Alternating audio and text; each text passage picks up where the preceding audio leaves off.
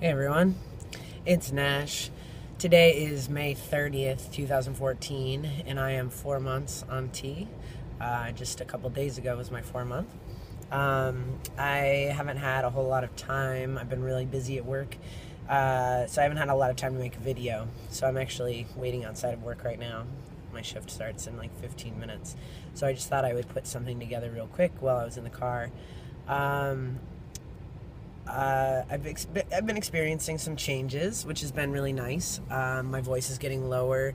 Uh, I have been getting more hair than I have been on my legs, on my chin. Uh, they're blonde, but they're coming in, they're getting longer. Um, kind of getting to that point where I should probably be shaving again, just because you can't quite tell, but it's uh, it's getting kind of creepy. I don't know. The camera makes it look like I'm making shit up but I swear. um, getting a little bit more acne on my chin, which makes a lot of sense. They say that that um, happens before hair grows in and hair is growing in there. So that kind of makes sense. I don't think it's much of an issue. I've been taking really good care of my skin.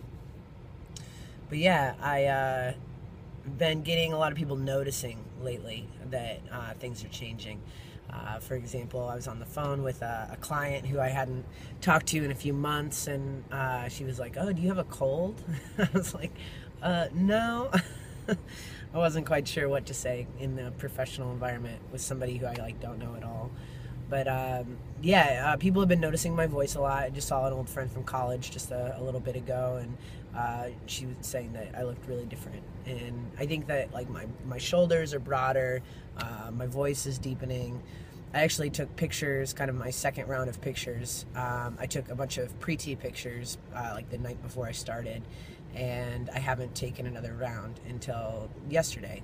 Uh, I took some four month pictures, and the the difference is, is pretty significant. Uh, particularly in my waist, my waist has widened quite a bit, uh, which is nice. The fat distribution is something that I wasn't expecting to happen uh, very much until like around a year is what I've observed with other people. So that's already starting to happen uh, on a pretty significant level. I mean, it's not huge, but it makes me feel good that um, it's definitely noticeable. Um, just a little less curvy, just a little a little bit straighter. Uh, my hips are still uh, really an issue for me. They make me feel really uncomfortable, but uh, things are getting better all around. So that's awesome. My shoulders, my neck is a lot wider, um, which m- makes the illusion that my hips are smaller. So that's nice. Um, yeah, I uh, am just feeling really good. I'm feeling good. I don't know if I have a whole lot of more updates. Oh, it seems like I'm probably jinxing myself, but it seems like my cycle may have uh, ended. So that's really exciting. Um, should have occurred last week and has not. And so I got my fingers crossed that it's gone for good, that I've said so long to that that horrible time every month and moving on from there. So that was probably uh, that along with like my fat distribution and probably my voice were like the three things I was looking most forward to. Um, with maybe like more body hair coming behind that. But uh, so yeah, my voice is lowering. My cycle may have ended. Uh, my fat is redistributing somewhat, and so those things are happening, and they're making me feel really good. And I just feel really confident about my decision. I'm starting to feel really comfortable in my body, uh, more so at least. And I feel like I've got a long way to go. And I'm excited that my changes aren't anywhere near complete because I am not feeling like totally great yet. But I have a lot of hope that if this is where I'm at at four months, that things are going really, really well. So it's about all I have. Um, been going out of town a lot, getting moved up to full time at work. Uh, and I've got another job, so I'll be at like 45 hours. So that's exciting. More money, um, getting paid for all the hours I'm working. Not that I've been asked to work beyond what I uh, get paid for, but there's just a lot to do. And if I'm going to do my job right, I'm going to do it. So uh, I'll have more hours to do the job well, to do it better. So that's exciting. Um, went out of town, went to California last weekend and saw my friend Hannah for her birthday. We surprised her, which was really fun been doing a lot of traveling across the nation to surprise people, so that's cool.